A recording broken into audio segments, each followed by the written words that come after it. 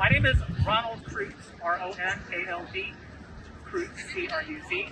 I am an organizer and an attorney with the Coalition to Defend Affirmative Action, Integration and Immigrant Rights, and Fight for Equality by any means necessary, BAMN. And being, uh, our organization is joined by other organizations, and we are proud, I'm here as a proud attorney for and representative of the interveners, the proposed interveners, which is a coalition of organizations which include BAMN, Berkeley Law Jewish Students for Justice in Palestine, Berkeley Muslim Students Association, and 33 individuals who support and fight for Palestine liberation. Of this campus and across the world who demand our right to be interveners in the Brandeis Center versus University of California lawsuits who demand our right to defend our right to freedom of speech. And this judge, U.S. District Judge James Donato needs to grant our motion for intervention. Judge James Donato needs to grant our motion for intervention because this case is of national importance. The Brandeis Center, the pro-Trump Brandeis Center, is filing lawsuits across the country, including against Harvard University, trying to get a university that in reality agrees with them to do a settlement with them. And we, this case at the University of California needs to be ground zero for the legal battleground on speech on campuses. And admitting us as interveners will make it that because we, the interveners, are going to be presenting arguments that the universities and campus and colleges are not providing. They will be the only voice that speaks equally in defense of pro-Palestinian activists and the rights of Jews to freedom of speech and religious freedom and academic freedom.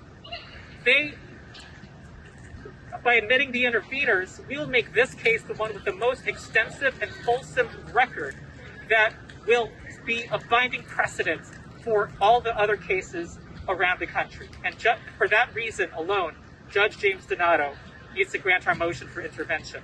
Suit seeks to silence any criticism of the Israeli genocidal conquest of Gaza, West Bank, and East Jerusalem.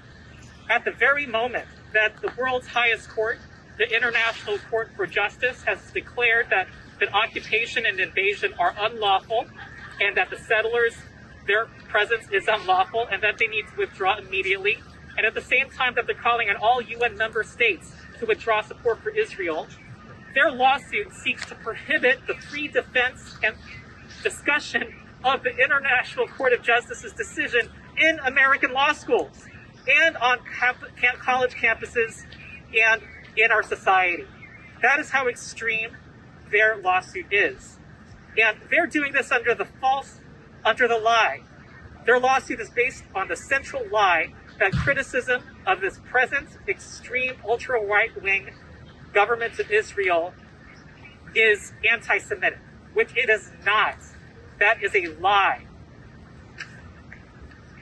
They are trying to get the courts to codify in U.S. law that support of this ultra right wing Netanyahu regime is the, the defining characteristic of being Jewish. And that is not true. And today there will be there are Jewish members of the proposed interveners who will say no to that. The Brandeis Center does not speak for them. They seek to silence both non-Jewish and Jewish critics of the Israeli government and the U.S. government, and they will not get away with it. The interveners are the true targets of this lawsuit, not the university, which is the only defendants in the lawsuit right now. It is our free speech rights that are under attack. It is the rights of the Palestinian, Arab, Muslim members of the proposed interveners. They're the ones who will be suffering a racist, hostile environment if Brandeis succeeds at imposing a ban on criticism of genocide of their family members and loved ones in Palestine. It is the Jewish members of the proposed interveners whose rights for religious freedom and their right to define for themselves what it means to be Jewish would be violated if Brandeis succeeds at getting the court to impose a definition on them. And it is all of the interveners' right. It's our right to criticize the rise of fascism and criticize genocide, both here and abroad, including in Israel, that is under attack. Interveners are, well, the university, which is the current defendants, we have no faith that they will argue in our argue, make our arguments. They absolutely will not. Because we've already seen that they already are implementing policies that are consistent with the goals of the Brandeis plaintiffs. Berkeley Law Dean Erwin Chemerinsky has already threatened to punish student law journals who express solidarity with their Palestinian classmates and the people of Palestine.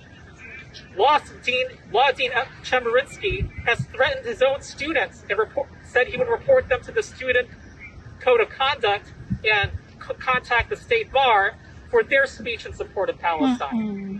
We have seen at UCLA the violent repression by the UC administration, mm-hmm. a police crackdown in collusion with pro-fascist Zionists against, against the peaceful pro-Palestine encampment.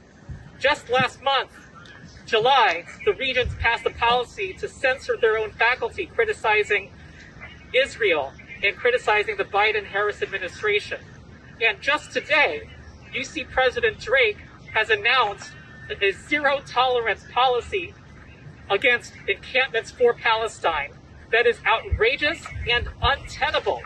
It is unprecedented for this top down dictatorial policy like this to, to go forward, and it would represent the biggest crackdown on free speech rights since the McCarthy era. Mm. The, the we have no faith, faith in this university that has made public statements in support. Well, okay, on, on, on today's announcement, the He's also said that he will be prohibiting masks at many protests for Palestine.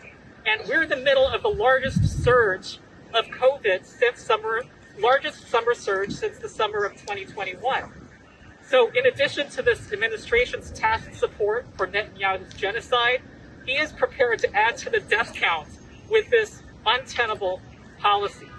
And it shows the desperation of the university administration and the Brandeis plaintiffs, whom they agree with, that they can't tolerate criticism of the murder of 40,000 people, mostly women and children, the death count will be multiplied by four or fivefold. The conservative estimates say that 8% of the entire population of Gaza will be annihilated already from the current confirmed deaths. Mm. This is a genocide that's going on, and there's no defense of it. That's why they have to repress speech on it. And we're not going to let them silence us. They will not succeed. Our voices will be heard. And that is what the signs say today. That is why we're filing this intervention. We refuse to be excluded from this debate about our rights. And we also refuse to allow the Brandeis plaintiffs to twist the story, to try to scapegoat pro Palestinian activists, Muslims, Arabs, and Palestinians for the rise of anti Semitism and the rise of attacks on Jews. It is Netanyahu and his policies that and his threat to broaden the war to the Middle East, to other countries, to make this an international war, that is dramatically isolating the state of Israel and endangering the lives of Jews in Israel and abroad. And silent, trying to silence and persecute pro Palestine speech does nothing to combat the rise of anti Semitism and protect our Jewish sisters and brothers. Yes. So, I want, lastly, want to say who the interveners are.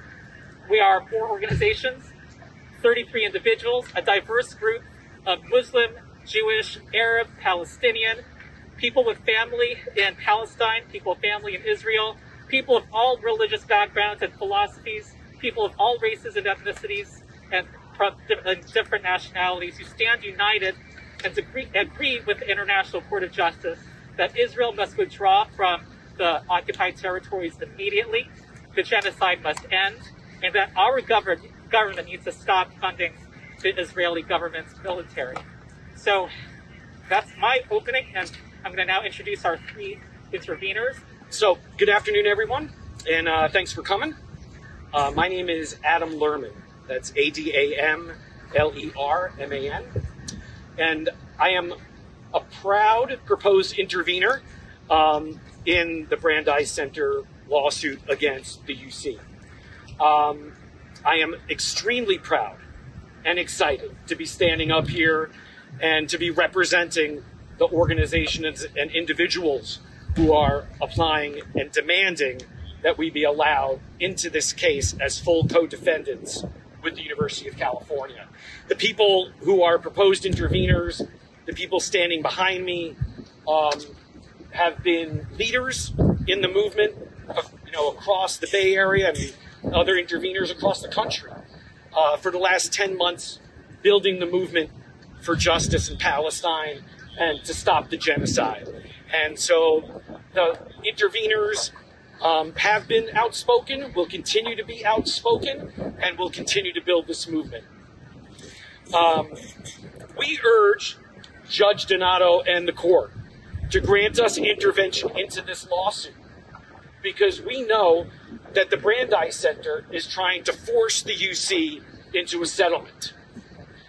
We know um, that this matter deserves a full hearing and a full trial in court, and only us, only the proposed interveners, are prepared to put forward a full slate of witnesses, studies, research, and the truth in the courtroom to make clear, and this is the core of what I want to say, to make clear that being against the genocide, being against the Netanyahu and Biden regimes, does not mean that you are anti Semitic. If you stand against the genocide, you are not automatically anti Semitic, as these plaintiffs would have us believe. This, um, we are the only ones defending the free speech rights of the pro Palestinian movement. And for Jews like myself who support the pro Palestinian movement. We're fighting to stop the UC from continuing to implement things like Ronald mentioned, like what was just announced this morning by UC President Drake. And we also refuse to allow the universities to continue to clamp down and silence and censor our movement. I was at UCLA in April supporting the encampment.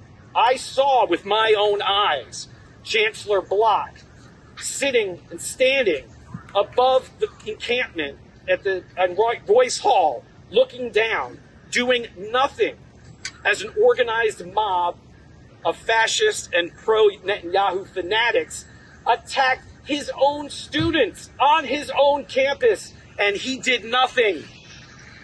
The next day, he did something. He ordered the LAPD to brutally clear that encampment at UCLA, arrested hundreds of students, kicked the rest of us off campus who were there supporting the movement. This is the administration that we are to believe is supposed to defend our rights in the courtroom. We understand that won't happen. There is no way that this court cannot allow us into this case. Our voices must be heard. The pro-Trump, the pro-Trump fanatics of the Brandeis Center seek to use the federal courts to shut down our movement in defense of the Palestinian people. The defendants in this case, the UC administration, administration, Berkeley Law School, they agree with the Brandeis Center that our movement must be repressed and silenced. Neither party in this case speaks for us. Mm-hmm. We are the only ones who can speak for ourselves And people and for the defense of our own ability, my own ability as a Jewish American, to actually discuss and debate and fight over these issues to decide what it means to be Jewish.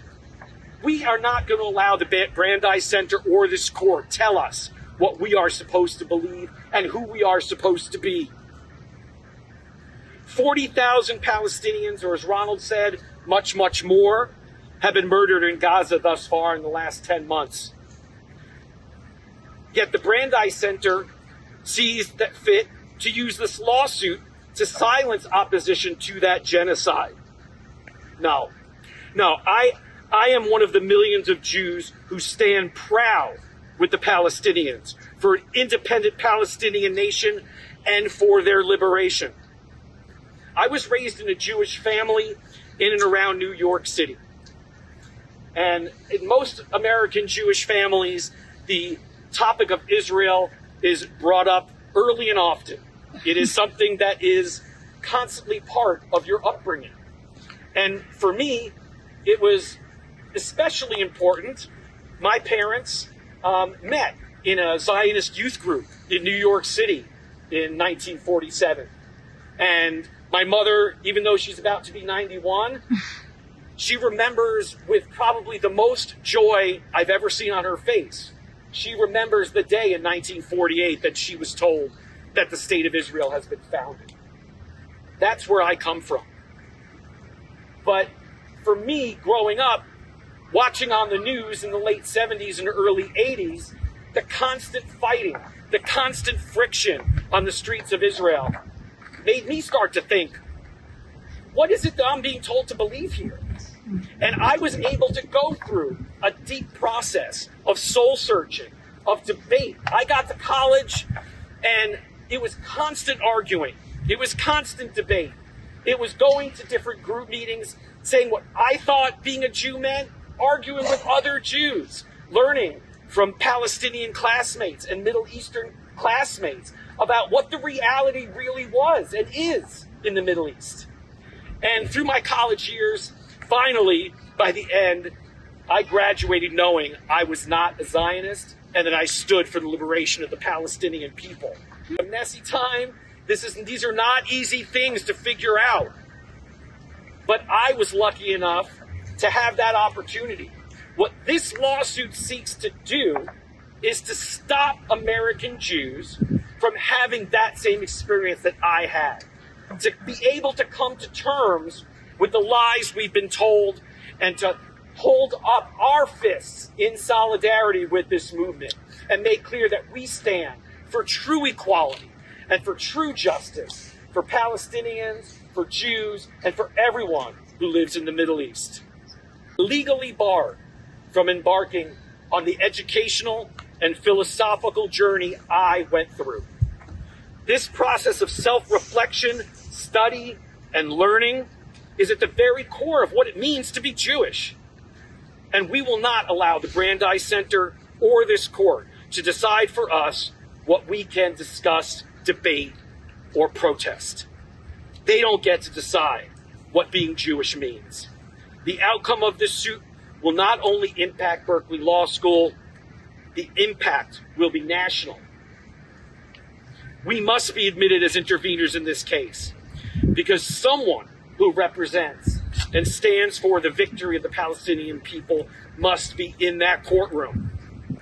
We must be admitted into this case because someone must say the truth that fighting, the gen- fighting against the genocide and ethnic cleansing perpetrated by the Netanyahu and Biden governments is not anti Semitic. Standing against those things is not anti Semitic. The plaintiffs and defendants agree that our freedom of speech must be restricted, our organizations must be sanctioned, our aspirations for peace and equality must be denied. The proposed interveners are the only ones who can defend the free speech rights and academic freedom of everyone who stands against the ongoing genocide. For me, being Jewish means standing up for true equality and justice at all times, no matter how uncomfortable it is. The Brandeis Center wants to impose on all Jews a single viewpoint as to what it means to be a Zionist and a Jew. According to the plaintiffs, anything that opposes their fanatical worldview should be considered anti Semitic. It's clear from their actions that the UC defendants, in particular Berkeley Law School Dean Chemerinsky, agree that anti Zionism equates to anti Semitism and its proponents should be silenced. It was the UC as I said earlier, it was the UC administration who brutally broke up the, UC, the UCLA encampment and broke up encampments across the state on other UC campuses. It's clear that they have no problem censoring and attacking our rights while they bend over backwards to defend the rights of those who support genocide. It's only the anti war movement itself, the students, and the Jewish community that can answer the lies of the Brandeis Center. Fighting for Palestine is not anti Semitic. Not all Jews are Zionists, and few adhere to the extremist positions of these plaintiffs. We, if we are admitted into this case, we will be the only ones capable of speaking these plain truths. And I just want to say what we intend to do moving forward from here. We intend to build a statewide and national movement around this case to defend the rights of the movement for Palestine and to defend Jewish students and Jewish advocates' rights to decide for ourselves what Judaism and Zionism mean. And that means we'll be speaking at college campuses, high schools, unions, churches, synagogues, mosques, anywhere that we will be invited to speak on this case and build this movement, we will more than happily go. So, as a last final thing, I just want to put the call out to Judge Donato. You cannot run. You cannot hide from the truth. You must admit us and the other interveners into this case immediately. Thank you. Assalamu alaikum, everyone. Peace be upon you all. My name is Zaid Yousef, Z A I D Y O U S E F. I'm a Palestinian American. I'm the president of the Muslim Student Association here at Berkeley, and I'm a second year law student at Berkeley Law School. I speak here today because for the last 10 months, I've witnessed my people massacred.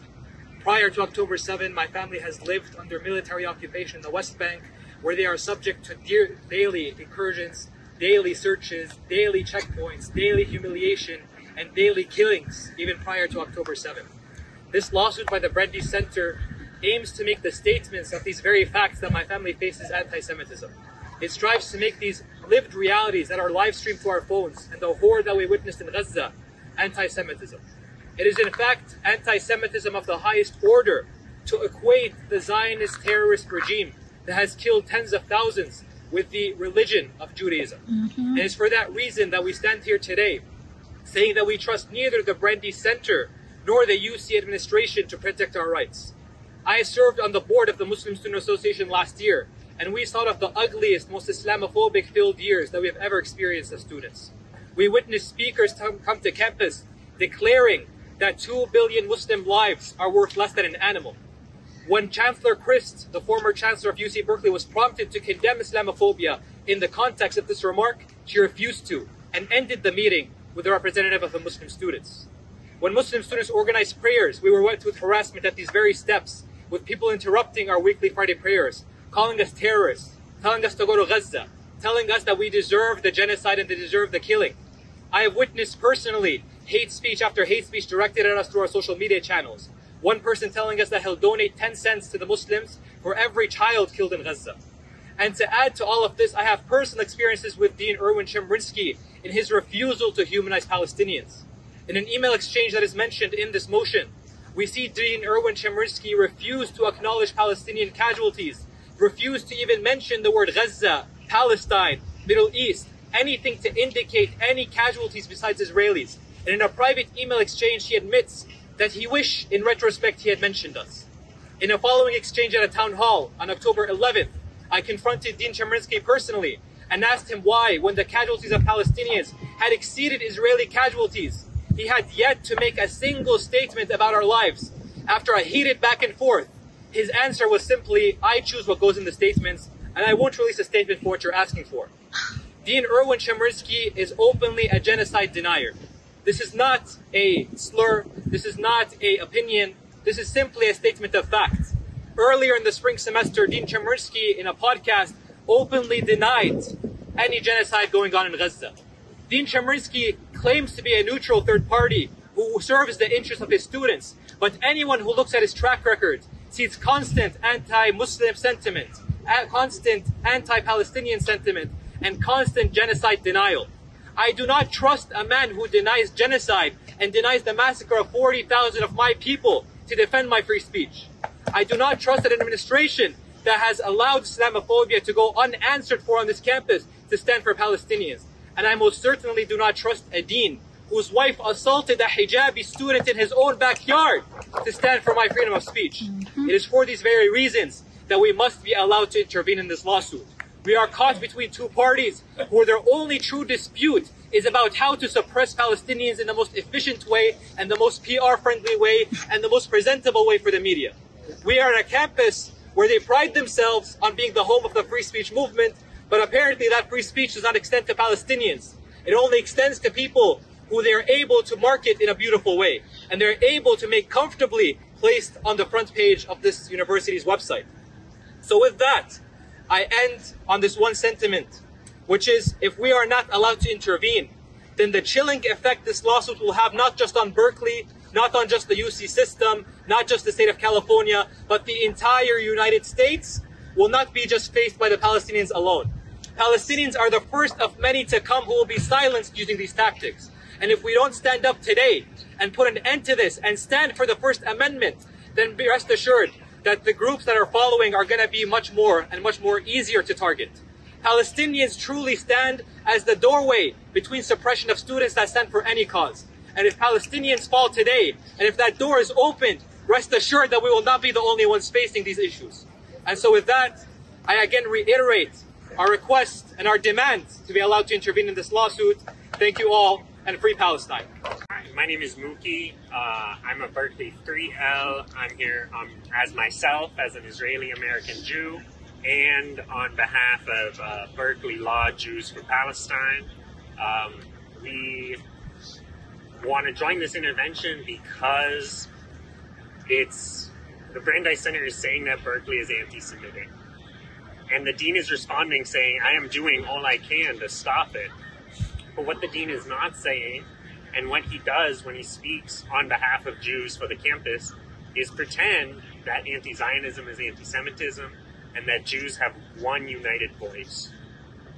In the past, he's shut down journals who tried to pass a bylaw um, in support of uh, Palestinian voices. Um, he's actually today, I believe, was the deadline about whether to file with him now because they are now checking every journal's bylaws. Um, and today was the day needed that journals needed to turn in their bylaws by so that he could tell whether or not they violated his code of conduct. The dean in the past has threatened to decertify journals, and he continues to for passing a pro Palestinian bylaw. He has threatened to protect pro Palestinian students, and when I personally talked to him and emailed him about it, he has deflected, changed the subject, and said it's all he can do. Yet, he does so much more to protect the interests of Zionists on campus and Zionist voices, um, even when they're not actively threatened, like pro Palestinian activists are. When students are being doxxed, he says, That's a third party truck. I don't know what to do about that. On public streets, there's nothing I can do. Um, but when a journal thinks that it might not publish or invite to speak pro Zionist speakers, suddenly it becomes the whole university's problem. Chemerinsky does not speak for Jewish students. The protests were not an anti Semitic protest, it was an anti Zionist protest, and that is very different as an anti imperialist movement. It is not an anti Jewish movement. Myself, as a Jew, was part of that movement. I know other Jews who were part of it. I'm not. It, it, it to call me anti Semitic for speaking about myself would be anti Semitic. To Israel does not represent all Jews in the world, and in trying to do so, it simplifies our own identities um, and erases a lot of Jewish identities and language, frankly. Um, it's it's unacceptable that this singular Zionist Jewish viewpoint is the only representation in this lawsuit. There's no reason that the university has for not including students as a response to a lawsuit about a student movement. We need to be heard in this lawsuit. And as an anti Zionist Jewish Israeli, my voice deserves to be here too.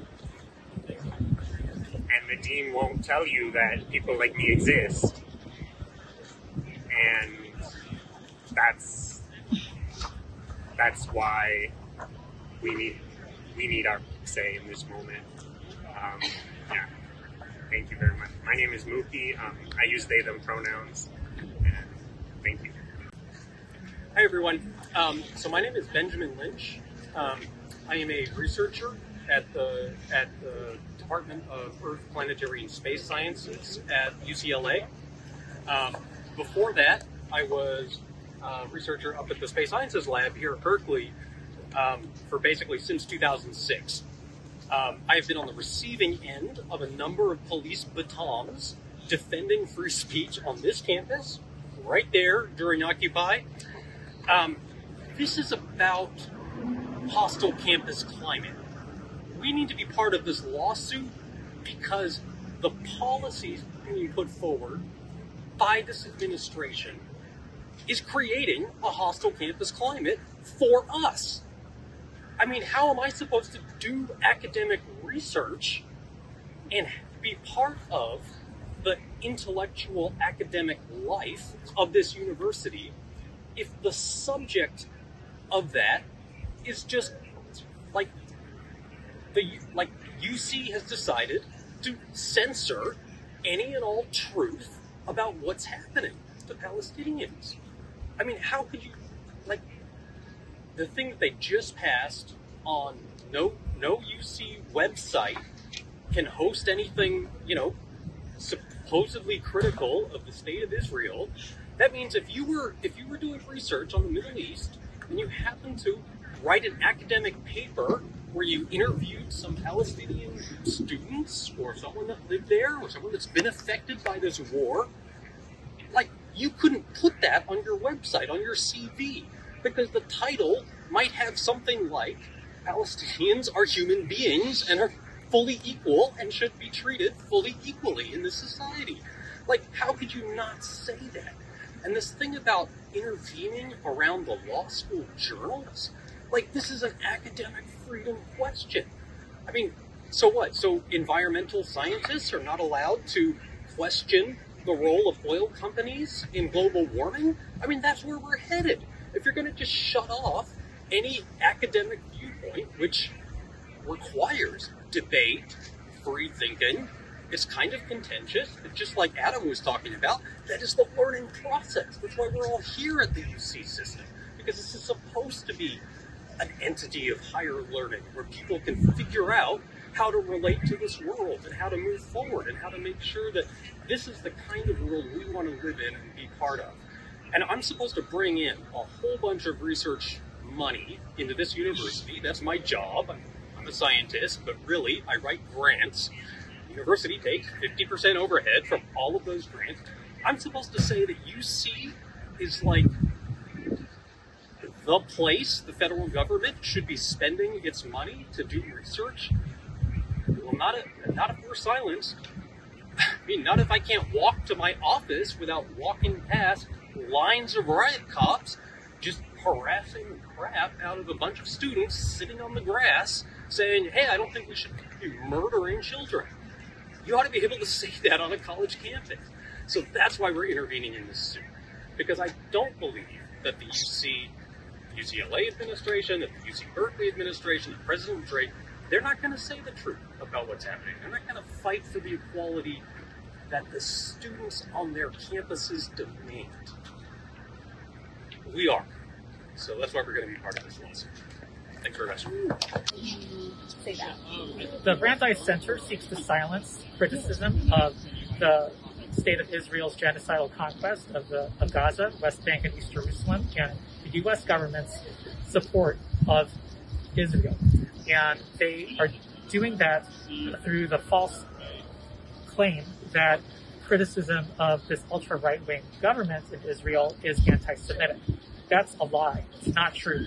And our group includes Muslims and Jews and people of diverse group who are saying absolutely not. It is not anti-Semitic. In fact, the, uh, opposing this genocide is is our duty uh, to defend the human rights of all people on all sides of the conflict.